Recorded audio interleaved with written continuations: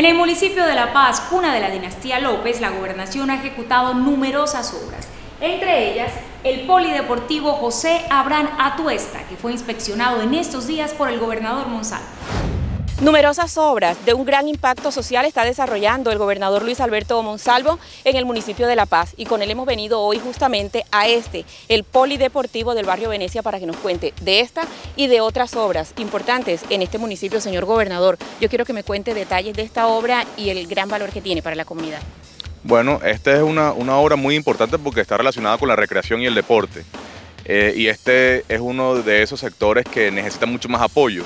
Queremos que los jóvenes tengan los escenarios deportivos necesarios para poder eh, practicar las diferentes disciplinas deportivas y para que puedan aplicar su tiempo de ocio, de tal forma que nos satisface venir al barrio Venecia, al municipio de La Paz, saber que en este proyecto estamos invirtiendo importantes recursos, son cerca de 2.800 millones de pesos, estamos avanzando muy bien en la ejecución, que avanza en un 80%, sé que ya falta muy poco para que podamos inaugurar esta obra, son varias canchas polifuncionales, una pista de patinaje con graderías, un coliseo cubierto que también va a contar con una cancha con césped sintético que también es uno de los escenarios más importantes. Las canchas sintéticas se están utilizando mucho en todos los lugares del país. De esta forma queremos darle al municipio de La Paz un nuevo proyecto junto al resto de todas las iniciativas que hemos adelantado en saneamiento básico, en alcantarillado, en pavimentación, en el proyecto del Chorro, en el proyecto del Parque El Café y tantas otras iniciativas que hemos desarrollado en este municipio.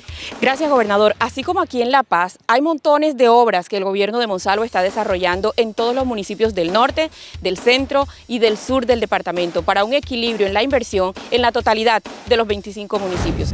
De esas cientos de obras hacen parte un extenso paquete de escenarios lúdicos, recreativos y deportivos que la gobernación del Cesar adelanta en distintos municipios del departamento, con el objetivo de contribuir al mejoramiento social a través del esparcimiento sano y el deporte. Tres parques construyó el gobernador Luis Alberto Monsalvo en el municipio de Codazzi, en los barrios Girardot, Primero de Mayo y El Socorro, que han permitido un importante cambio social para los niños y jóvenes que ya cuentan con espacios agradables para desarrollar actividades físicas y recreacionales. En San Diego se construye el Parque Lúdico Recreativo Marenco y su espacio público, que a la fecha reporta un 75% de avance y tendrá zona recreativa infantil, cancha multifuncional, graderías y sendero peatonal.